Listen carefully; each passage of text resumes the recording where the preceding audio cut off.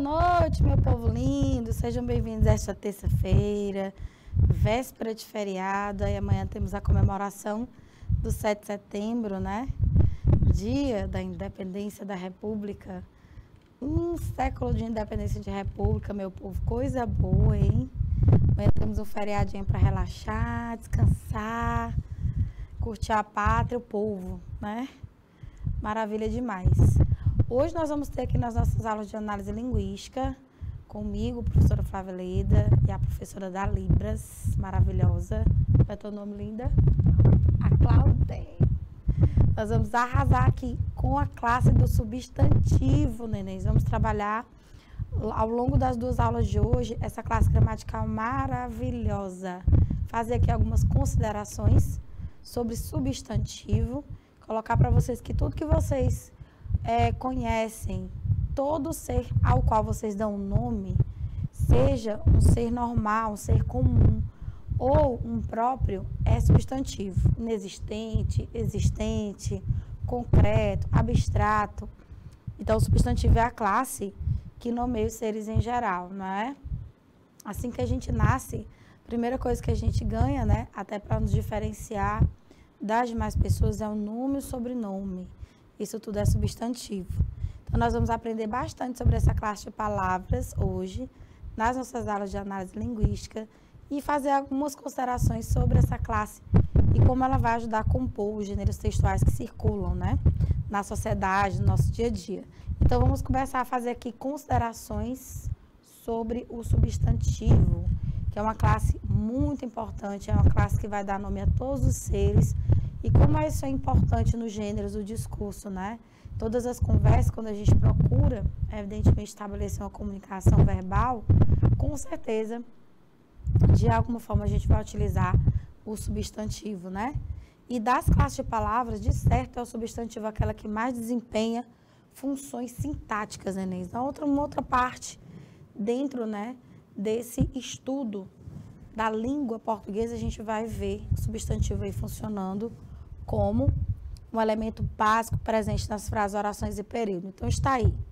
Nosso objetivo hoje é compreender o papel dos substantivos como uma classe fundamental para a nomeação dos seres em geral.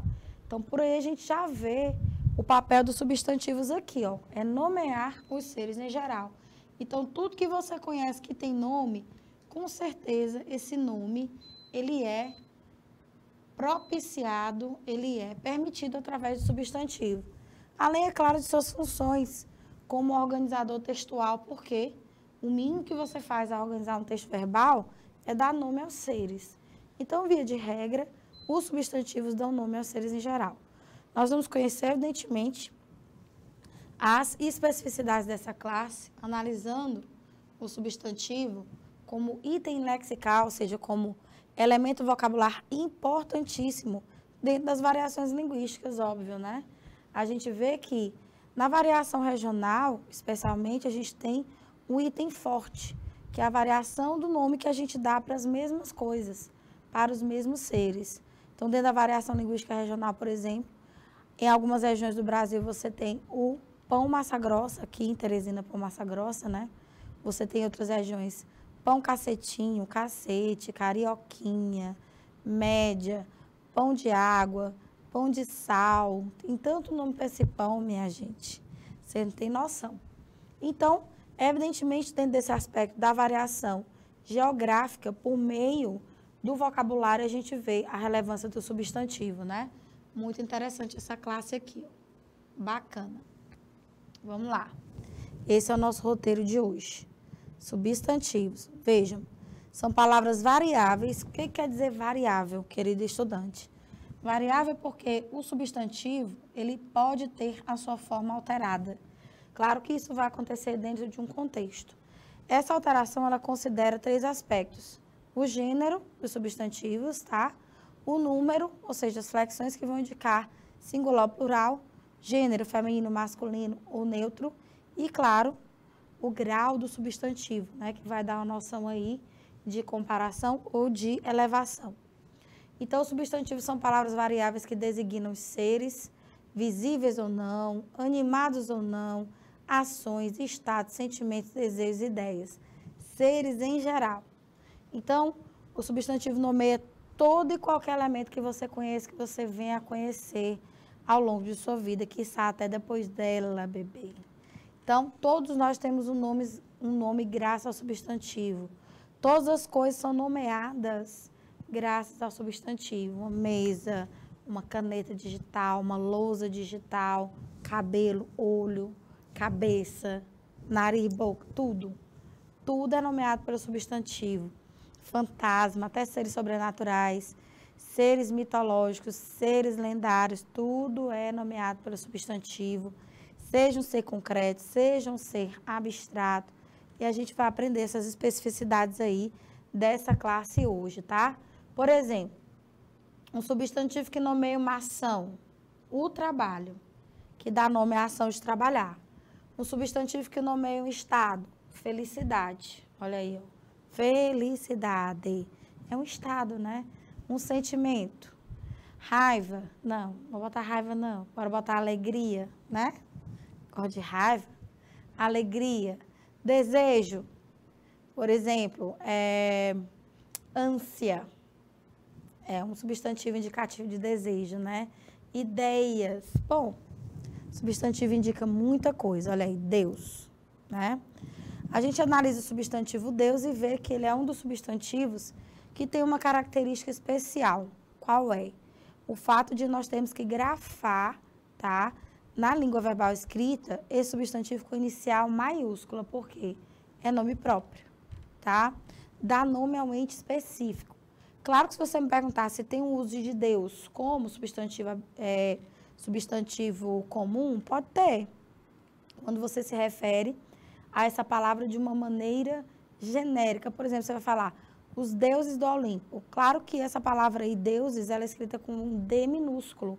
Agora, quando você vai falar especificamente os deuses do Olimpo, aí vai aparecer o Eros, vai aparecer o. Como é o nome dele mesmo? Aquele lá dos mares. Ai, meu Deus. Poseidon.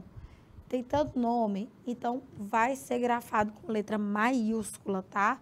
Esse é um substantivo próprio, é um substantivo que vai apresentar outras características que nós vamos ver os critérios de identificação. Relógio, ó, um substantivo comum, tá? Grafado com inicial minúsculo, a não ser que inicie uma frase. Cadeira, outro substantivo comum, ó. Amor. Amor já vai nomear um sentimento, tá vendo, ó? Saci pererê já vai nomear um ser que é uma lenda, um ser lendário. Então vocês estão vendo que visível e invisível, concreto abstrato, real e real, está aqui. Tudo isso é substantivo. Então, esse, esse é o papel fundamental da classe dos substantivos, é dar nome aos seres em geral, aos seres mais variados que existem aí e que a gente pode utilizar em algum momento nas nossas interações linguísticas.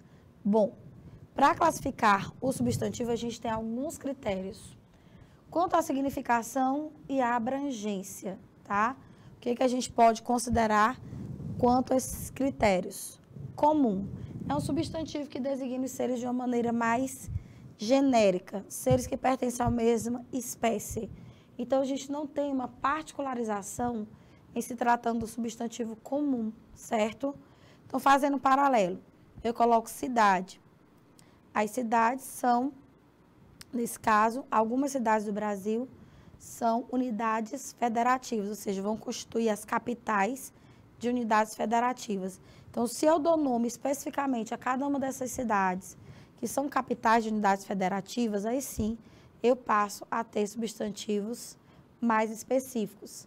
Esse é o substantivo próprio, que deve ser sempre grafado com inicial maiúsculo. Então, cidade comum, Teresina, substantivo próprio. Olha aí, ó, tá vendo? Altos. Deixa eu ver as cidades que estão aqui, para a gente já fazer aqui uma interação bacana. A galera que está aqui conosco, deixa eu ver aqui, deixa eu ver aqui. Lagoa, não, Betânia, Betânia do Piauí, Bom Jesus. Olha que bacana, Lagoa do Barro, São Lourenço do Piauí, ó, e tudo não é nome de cidade específica. Pronto. Por isso que deve ser escrito com iniciais maiúsculas, tá? Então tá aí uma classificaçãozinha. Olha aí, ó, bolo. Isso aqui é um substantivo comum. Bolo. Veja.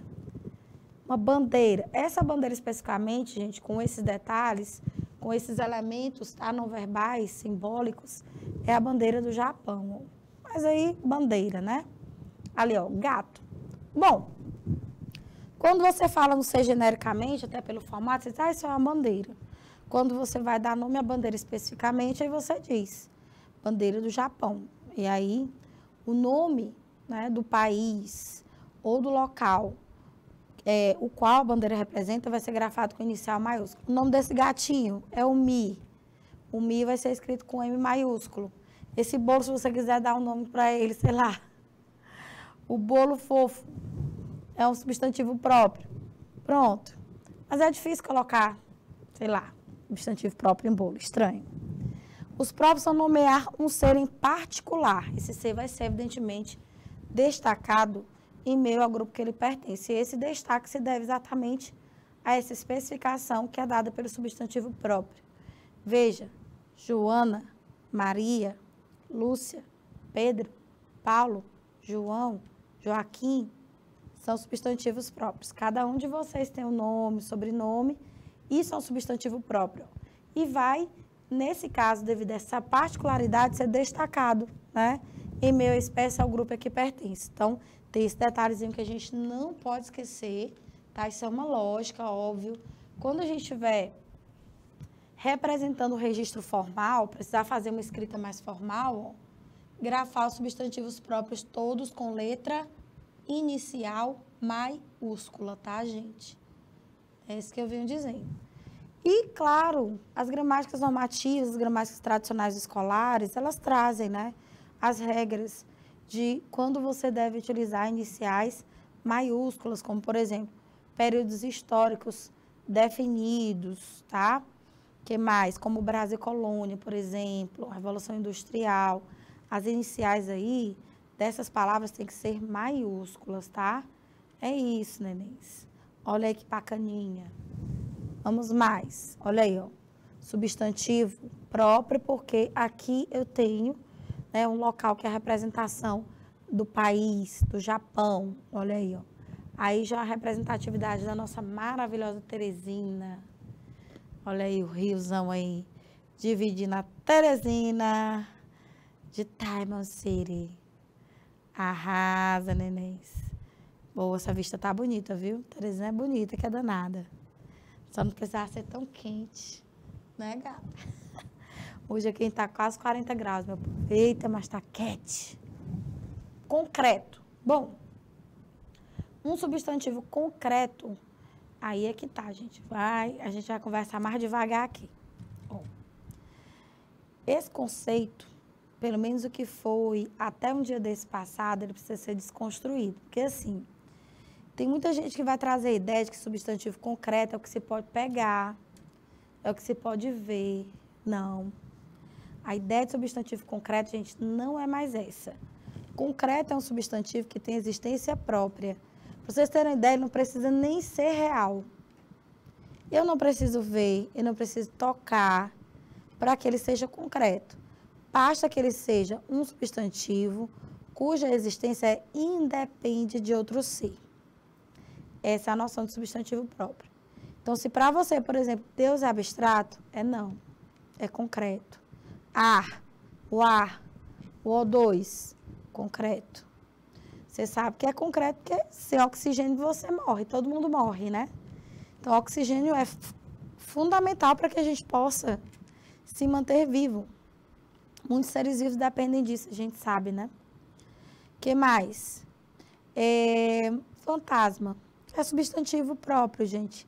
Aliás, perdão, é substantivo com certeza concreto. Tudo isso é substantivo concreto. Então, o que, que ocorre? Substantivo concreto é ser de existência independente. Por mais que você diga, ah, tia Flávia, mas um gnomo, um duende é um substantivo concreto, como é que pode? É. Você não vê, tem gente que vê. Mesmo assim, ó, independente de você crer nele ou não, ter visto ou não, ele vai continuar existindo tá? Como ser constituído dentro da cultura. Então, um aspecto cultural mesmo. O duende é um ser lendário, um ser mitológico, enfim. Não vê, eu nunca vi, né? Enfim, mas é um substantivo, com certeza, concreto. Entendeu? Então, essa é a noção que se dá ao substantivo concreto, ó, ser de existência própria. Veja. Isto é, ele não depende de outro ser para existir. Enfim, ó, designam seres de existência independentes, sejam reais ou fictícios. Ou seja, se você crê, eh, se você crê que um lobisomem é um ser fictício, pronto, é um substantivo concreto, porque ele não depende de outro ser para existir, entende? Essa noção de independência, essa noção, vamos dizer assim, de, de não é, é, ligação com outro termo, ou não precisar de outro ser para existir, que torna o substantivo concreto. Ó. Mesa é concreto. Eu, Flavinha, sou concreto. Uma casa é um substantivo concreto. Uma rua é um substantivo concreto. Uma montanha é um substantivo concreto. Papai Noel é um substantivo concreto. O moço do biscoito é um substantivo concreto. O bicho-papão é um substantivo concreto. Pronto. É isso. Então, veja. Detalhe. Por isso que eu estou dizendo. Não precisa, para ser concreto, existir. Pode ser um ser fictício substantivos concretos ó, designam seres do mundo real, ou seja, que de fato existem, tá? E do mundo imaginário. Então, tudo quanto é lenda, quanto é mito, é substantivo concreto, real. Homem, mulher, cadeira, cobra, Brasília. Substantivo, com certeza, real. Imaginário, saci, mãe d'água, fantasma. E todo ser que você considerar aí de natureza sobrenatural, mitológico ou lendário, entendeu? Então, as lendas. As lendas que falam sobre boitatá, curupira, caipora, não se pode. Lendas piauienses, não se pode. O barba ruiva, a porca do dente de ouro e a mais famosa das famosas das famosas, cabeça de cuia. Com certeza, bebê. Substantivos concretos, viu? Olha aí que bacana. Ó, pessoal, né? Olha um jardim, flores, substantivo concreto existência real, né? Pessoas, idosos, substantivo, com certeza, ó, concretíssimo, tá? Então, tudo que for de existência independente é um substantivo concreto. Começa a mudar seus conceitos. Até que, gente, o conceito de abstrato nessa perspectiva de significação e abrangência, ele não mudou muito, não. O abstrato realmente vai nomear substantivos que nomeiam ações, sentimentos, tá? Processos, situações, condições. Tudo isso é substantivo abstrato. Esse realmente não dá para pegar, não dá para ver, não dá para tocar, né? Porque ninguém toca em sentimento, ninguém toca em emoção, ninguém toca em ação, não é algo palpável, não é algo que seja, vamos dizer assim, formatável, não tem um formato. Porque alguns substantivos concretos têm, né? Evidentemente. O A não tem, é um substantivo concreto. Deus, eu não sei, tem algumas, algumas vamos dizer assim, é, idealizações da figura de Deus. Uns o demonstram como uma bola de luz, outros colocam, colocam uma, uma, fisionomia de um ser humano vestido com uma roupa bem clara, né? Mas com luzes saindo, né? Enfim, ou tem gente que coloca Deus só numa voz. O que? o que? Enfim, mesmo que ele não tenha forma física, vamos dizer assim, ele não pode deixar de ser um substantivo concreto, tá? Aí, os abstratos, evidentemente, ó, dependem de outros para existir, para se manifestar. Então não tem como, ó. Como é que eu vou falar em amor se esse sentimento não for manifestado? Como é que eu vou sentir dor se essa dor de alguma forma não me atingir? Entende? Então eu preciso de uma ação com que, que faça com que esse substantivo se manifeste ou que de alguma forma ele ocorra. Amor, aliás, o trabalho. Eu preciso de alguém que trabalhe. Entende? O trabalho é um substantivo abstrato. Quando nomeia ação de trabalhar, né, gente? Depende também do contexto. Então, qual é a noção de sentido que os substantivos abstratos trazem. Estados, qualidades, tá? Ações, processos, sentimentos, tá vendo? Então, podem ser abstraídos e, nesse caso, sem os quais não podem existir. Por exemplo, vamos falar aqui em raiva. Para que a raiva se manifeste em você, isso depende de algo, né? Depende que algo, alguém te provoque isso. Então, esse é o conceito de substantivo abstrato, ser de existência independente, tá? A correria, olha aí, ó. O que, que é a correria? É um processo. No dia a dia a gente costuma chamar correria dessa vida acelerada que a gente tem, né? Mas é uma ação, é um processo. Então, para que eu perceba a manifestação da correria, é preciso que eu veja no dia a dia de alguém ou no meu próprio dia a dia esse corre-corre, entendeu? Então, sempre é um substantivo dependente, o chamado abstrato, galerinha. Abstrato. Olha aí, ó. A beleza, substantivo abstrato. Existe na pessoa ou coisa que é bela, ou seja, a beleza manifestada. E também é algo muito subjetivo, né? Isso vai variar muito de cultura para cultura, de pessoa para pessoa. O que é belo para mim não é belo para você. Então, tem realmente essa abstração devido à subjetividade. Então, perceba que não é em todo ser que a beleza se manifesta. Ela precisa ser manifestada de fato. Por isso que é substantivo abstrato, tá? Olha aí. O amor é abstrato que existe na pessoa que ama. Veja que uma pessoa que não sente amor, que só sente raiva ou ódio, não tem como manifestar, portanto, é um sentimento extremamente dependente, tá? Dependentíssimo. Olha aí. O que mais? Que a gente já colocou a beleza de um jardim. Olha aí. Olá, Ira. Um beijo pra tu, linda. Como é que está, garota? Tereza Monteiro. Olá, tudo bem, Tereza? Estamos aqui nós nas nossas aulas no canal de análise linguística tratando do substantivo, um assunto aí muito bacaninha, né? Essa classe gramatical aí maravilhosa. Veja aí, nenéns. Olha aí, ó. Aí você pode colocar, analisando essa imagem, várias né, palavras, vários substantivos que podem caracterizar a situação apresentada. Você pode colocar aí, enquanto substantivo abstrato, carinho, afetividade, amor, respeito, cuidado. Tudo isso é substantivo abstrato. Vamos ver o que, é que vai aparecer aqui. Olha aí, ó, amor. Dois idosinhos muito fofos. Bom, coletivo. É, meu substantivo aqui é top. Coletivo é um substantivo que nomeia um conjunto de seres, né? Esse coletivo pode estar no singular, pode estar no plural, pode ter o especificativo se ele for um coletivo mais abrangente.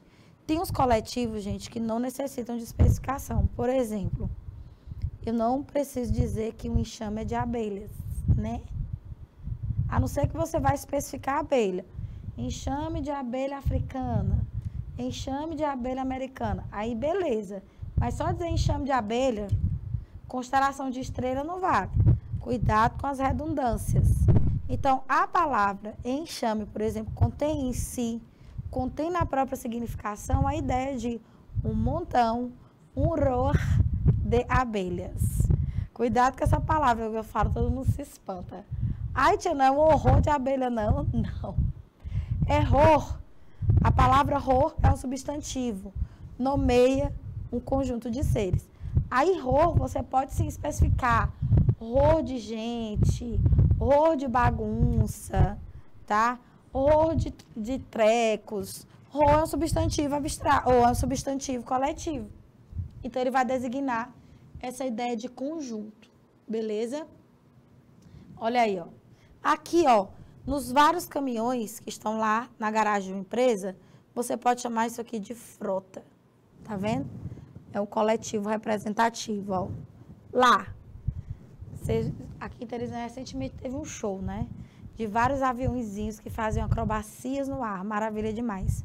Ou seja, a esquadrilha é um conjunto de aviões reunidos, de aeronaves, olha aí, esquadrilha da fumaça, né, nenéns? Então, isso aqui é coletivo. Aí vamos trabalhar mais antes dessa classificação por formação, essa ideia do coletivo, que ela é bem interessante. Tem vários coletivos bacaninhas que a gente utiliza no dia a dia, né? Por exemplo, co co é, coletivos que são tão corriqueiros que a gente nem nota que são coletivos, que é povo, que é multidão, tá? Esse horror que a gente fala, horror, tá? É uma palavra muito comum. Monte, né? Monte no sentido de monte gente. Enfim, aí vem as noções mais formais, vamos colocar aqui. Não faz sentido você falar em cardume de peixes. É um coletivo bem específico. Cardume é um conjunto de peixes. Agora, você pode dar nome aos peixes especificamente. Por exemplo, cardume de sardinhas, cardume de carpas, cardumes de pargos. Olha aí, ó. Eu nem sei se esses, se esses peixes realmente andam em cardumes, mas vá lá. Anda em grupo, né? Aí, tem alguns coletivos que podem ser especificados. Bando indica uma aglomeração. Bando de desordeiros. Bando de pássaros. Então, alguns podem ser especificados tranquilamente. Interessante anotar que, inclusive, a marcar o uso informal com relação ao aspecto da concordância é, são construções cotidianas em que a gente diz, por exemplo, o povo foram né? O povo foram lá e fizeram a maior algazarra. Então, perceba que você está usando o substantivo no singular, ó, o povo, e você jogou o verbo no plural. Existe um princípio para isso. Não é formal, ou seja, não é representativo do registro padrão, mas se explica pela chamada concordância ideológica, que é quando a ideia prevalece sobre os termos gramaticais. Então, é muito simples. Se eu tenho substantivo no singular, povo, mesmo coletivo, eu vou levar o verbo ao plural, por exemplo. Então, povo foi, o povo gritou, o povo manifestou-se. Se eu jogo esses verbos no plural, povo foram, povo gritaram, povo manifestaram-se, eu não estou concordando mais o verbo com a ideia, aliás, com o povo, com o substantivo em si, que é singular, mas com a ideia de coletivo que ele passa. Então, isso aí é chamada concordância ideológica ou SLEPS. Pelo amor de Deus, não chamo de erro, não. Tá? É linguagem formal, é verdade. Mas muito comum né, em textos, por exemplo, literários, que trabalham com maior expressividade, que não tem essas amarras com registro padrão. Então, era só essa observação que eu queria fazer. Coletivo de borboletas, paná, paná. Coletivo mais esquisito que eu já vi. Coletivo de gafanhotos, pode chamar de nuvem tá? Assim como de outros insetos. Coletivo de fogos de artifício, girandola. Olha que nomes massas. Coletivo de jornais e revistas velhos, hemeroteca. Super coletivos topíssimos, hein, nenéns? Veja aí. Vou anotar aqui para você, de canetinha. Caso você queira pesquisar depois, né? Ó, paná, paná. Coletivo de Brabuleta. Tô brincando, gente. Borboletas. Girândola. O coletivo de fogos de artifício. Ó. Girândola. Veja aí. Eme, Emeroteca. Coletivo de jornais e revistas velhos. Depois vocês podem pesquisar esses coletivos estranhos, tá? Se a gente faz uma pesquisa mais ampla de coletivos, a gente vai descobrir muita coisa interessante. Substantivo coletivo é massa. Vamos lá. Agora nós vamos a um outro critério de classificação, gente. Agora a gente vai considerar a forma, tá? A forma mesmo, é, no aspecto morfológico da palavra, do substantivo. Isso aí a gente vai considerar, por exemplo, se o substantivo ele é primitivo, ele é derivado, quando ele é primitivo, quer dizer que ele é a palavra primeira. Ele dá origem a outras, entende? Ele é o primeiro. Quando ele é derivado, quer dizer que ele é originado de outras palavras. Quando ele é simples, quer dizer que é um substantivo que tem só um radical. Quando ele é composto, você tem o substantivo que tem pelo menos dois radicais, tá? E é bem interessante isso aí, entender, por exemplo, essa formatação dos substantivos, porque às vezes os critérios de flexão, vão considerar muito essa formatação, formação dos substantivos, tá? E detalhe, uma classificação não necessariamente elimina a outra. Claro que ou o substantivo é simples ou ele é composto. Ou ele tem só um radical, ou ele tem dois ou mais radicais. Ou ele é, é no caso, primitivo, ou ele é derivado. Então, isso não se mistura. Mas preste atenção, ele pode ser um substantivo comum, tá? Designar um ser em geral. Ele pode ser um substantivo composto, entende? Então, posso ter mais de uma classificação dentro do substantivo. Mas, aqui, ó, o que, é que eu chamo de primitivo? Aqueles que são os primeiros por darem origem a outras palavras, tá? O que, é que eu chamo de derivado? Esse já vem de outras palavras. Então, veja bem, ó, primitivo da origem, vou colocar aqui, marca texto. Primitivo da origem, derivado se origina. Ou seja, você vai ter que analisar a forma dele para saber qual foi a palavra primitiva que deu origem. Lembra que eu falei ainda agora no sentimento? Felicidade. Esse é um substantivo, por exemplo. Comum, não nomeio um ser em particular, é um substantivo derivado porque ele vem do adjetivo feliz. Tá? Entendeu? É assim que a gente vai analisando. Olha aí. Livro é um primitivo. Desse substantivo, eu posso dar origem, por exemplo, ao substantivo que dá nome ao local que vende livros, por exemplo, a livraria. Olha aí, ó, é outro substantivo, mas derivado de livro. O livreiro, que na acepção daquele que vende livros, né, aquele que lida com livros, é um substantivo também derivado. Então, aria vai dar a noção de local onde são vendidos os livros, né, local de comercialização, livreiro, aquele que comercializa, ou seja, aquele que pratica a ação de comercializar livros, tá? Igual padeiro, que fabrica pães. Olha aí, primitivo. Aí, você pega o radical do substantivo primitivo e junta com o sufixo, ó, aria. Esse sufixo é uma forma presa que vai ajudar a formar outras classes de palavras, vai ajudar a trazer de uma primitiva as derivadas e vai mudando o sentido, né, à medida que ele vai aparecendo nos contextos. É um elemento, gente, invariável, o sufixo, tá? E é um elemento preso, porque o sufixo tem que vir preso a um radical. Então, por isso a gente não pode confundir radical com sufixo. Veja que o radical é uma forma livre. O, o radical sozinho ele forma palavra, o sufixo não. Começa por aí, tá? dentro das noções de morfologia. Então, é por isso que isso aqui a gente não chama de palavra composta. Composta no sentido mais natural da palavra na morfologia é palavra que tem dois radicais. Eu não estou vendo dois radicais, estou vendo um radical e um sufixo. Sempre o sufixo vem após o radical. E tem um elemento de mesma função do sufixo, só que a posição dele é antes do radical. Aí a gente chama de pré-fixo, pré, pré, pré, antes, suf, depois. Beleza? Muito bem, cheiros. Olha aí, ó. Do substantivo, primitivo livro, acrescido ao radical sufixaria, eu formo o substantivo derivado livraria, que também, de certa forma, traz uma noção de coletivo, né? Beleza? Livraria.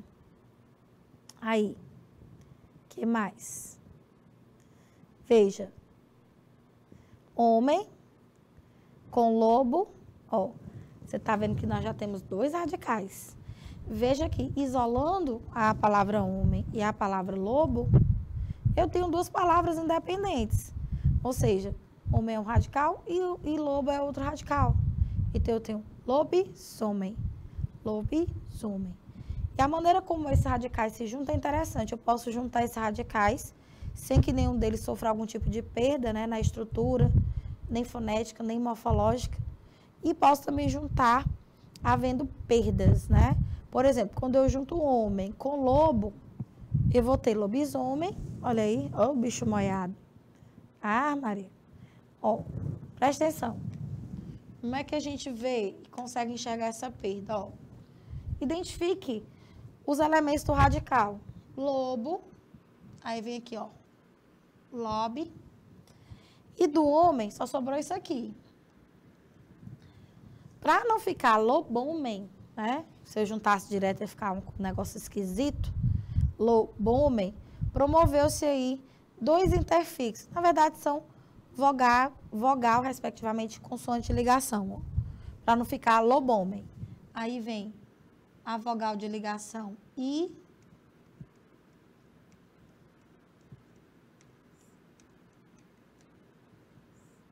e a consoante de ligação S. Aí, do homem, ó, só sobrou isso aqui, ó. Cadê o H? Foi embora. Do lobo, ó, só o lobe. Entendeu? Aí você diz assim, mas, tia Flávia, como é que a senhora sabe que esse I esse S são elementos de ligação? Repare, nem esse I é do radical lobo, nem esse S é do, da, do radical homem. Então, eu vou deduzir que são só elementos que apareceram aí entre os radicais para facilitar no ato da junção a pronúncia, né? Que a gente chama de boa pronúncia ou eufonia, fone de som, eu de belo ou bom. Entendeu? Som belo, som bom. É um som bacana, equilibrado, macio, né? Então, os compostos são formados por mais de um radical, que a gente considera palavra, tá? Os prefixos e sufixos são vocábulos. Palavra, esse item lexical que tem independência, quer dizer, uma vez isolada, ela vai constituir sentido. Prefixo e sufixo sozinho não forma palavra, tá bom? Só para você aprender a diferenciar e a não confundir, não achar, por exemplo, que pré-história é um substantivo composto. Ele é derivado por prefixação. Então, Aí tem, evidentemente, algumas regrinhas para a formação do plural, né? Porque esses substantivos, gente, que são compostos, eles vão para o plural, evidentemente. E aí é uma parte em que costumeiramente as pessoas têm dúvidas, mas é porque não atentaram no dia da aula de gramática normativa para as regrinhas. Tem regrinhas sim para flexionar os substantivos compostos. Normalmente os justapostos eles fazem a flexão normal. Por exemplo, gira sol. Eu tenho a junção do radical gira com sol. Gira sol vai formar o plural lá no final. Vai ficar girassóis. Eu não digo que sol, sóis. Então, girassóis. Olha aí, ó. Se um dos elementos, um dos elementos do substantivo for uma palavra que não tem flexão de plural, como por exemplo, verbo. Verbo tem flexão de número mas não tem plural como ocorre com substantivos e adjetivos através da marca de plural que é S, né? Então, plural de verbo não faz assim. Então, por exemplo, no substantivo composto beija-flor, eu estou vendo que flor varia, mas beija, eu não digo beijas. A não ser que seja verbo, mas não é esse caso. Estou falando de beija no plural, não existe. É os beija-flores. Entendeu? E tem várias regras. Ó, girassol, girassóis, passa tempo. Tá vendo que passa é verbo, então passa não vai para o plural. Só o substantivo tempo, passa tempos. Compostos ligados por hífen. Bom, em geral, só vai o primeiro elemento. Então, quando eu tenho, tá? Uma preposição entre os elementos, ó. Tá vendo? Você flexiona o primeiro elemento. Ó. Pimentas do reino, tá? É pés de moleque, águas de coco. Tá vendo aí? Vamos lá, bora conversar mais um pouco. Tem alguns substantivos que apresentam flexões nesse formato aí, ó, radicais ligados com preposição, pelo seguinte. Vão se constituir como exceções nessa regra aqui. Por exemplo, por que, que eu tenho que flexionar caixas de fósforo? Vou explicar por quê caixas de fósforos. E, gente, por quê? Não, não existe caixa de um fósforo. Não sei que seja um fósforo gigante. Mas vamos tomar o que é regra, não o que é exceção? Você não compra uma caixa com um fósforo. São vários. Então tem que ser caixa de fósforos, entendeu? Caixa de prego. Não, caixas de pregos. Então, o singular dessa expressão já seria caixa de fósforos. O singular aqui já seria caixa de pregos. Então, plural vai ficar caixas de fósforos e caixas de pregos. Entendeu? Caixas de velas, se por acaso, evidentemente, você comprar uma caixa com várias velinhas. Porque tem caixa que é uma vela só, né? Tem vela que é dois tamanhos. Então não faz sentido, é caixa de vela mesmo, tá? Beleza? Captaram, nenéns? Olha aí como é top, né? Então, essa regra de flexão dos substantivos compostos é muito importante e precisa ser considerada porque muitas vezes a gente esquece dessa configuração que é ditada pela gramática normativa, né, nomenclatura gramatical brasileira, e de fato precisamos dominar, né, até para, evidentemente, quando houver necessidade de escrever ou de falar no registro padrão, a gente ter a devida consciência. Daqui a pouco, não saia daí. Dê a golada de café bem daí mesmo que a gente volta. Rapidinho, três minutinhos. Cheiros, nenéns. Até já.